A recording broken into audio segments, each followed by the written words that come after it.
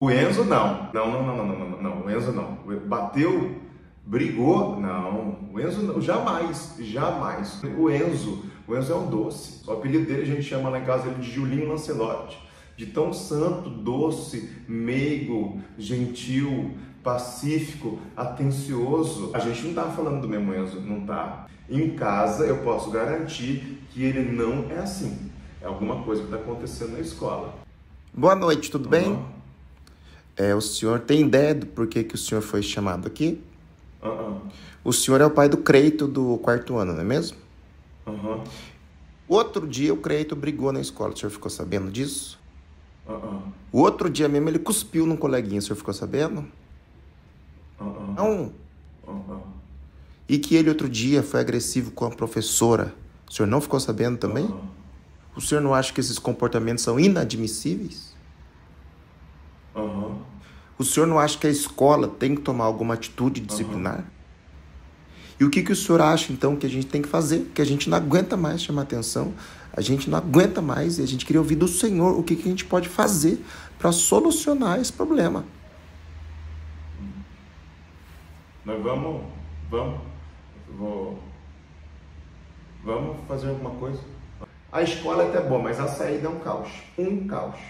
Outro dia fiquei três minutos esperando. Três minutos. Eu não tenho tempo. E viu chegando que eu tenho Porsche. Então, se viu Porsche, dá pra saber que sou eu. Traz meu filho. Não, eu.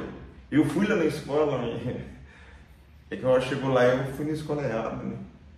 Mas eu fui. Eu tinha vindo em outra. O Bernardo não vai reprovar. O Bernardo não vai reprovar. Não vai. Eu quero ver reprovar o meu filho. Experimenta. Eu quero ver reprovar o meu filho. Todo mês eu venho e pago um dia isso aqui. Meu filho não vai ser reprovado. A gente não vai resolver isso aqui na escola. Não, a gente vai resolver isso fora da escola. Que eu sou advogado. Eu sou advogado. Soco? Não. O Enzo se apanhar, eu tenho certeza que ele dá outra face. O Enzo não sabe nem fechar a mão para dar um soco. O, Enzo, o meu Enzo não pode ser. Já posso ir? Experimenta, experimenta reprovar o Bernardo. Experimenta! Não vai vir? Então, eu não tenho se comparecido na escola, tá ligado? É que nesse momento, de onde eu tô residindo, eu não posso sair, tá ligado? Porque senão qual é a vantagem de se ter um Porsche e não ser reconhecido pelo Porsche? Um Porsche é um Porsche, um Corsa é um Corsa, um Celta é um Celta. Reprova o Bernardo, reprova o Bernardo, reprova. Tudo bem que a média 7 ele ficou com 4, e daí? E daí? De acordo com o inciso 4, cláusula 3, o 4 está mais perto do 7 do que mais perto. Então vocês tinham obrigação de arredondar. Obrigação. Não vai reprovar. Xingou.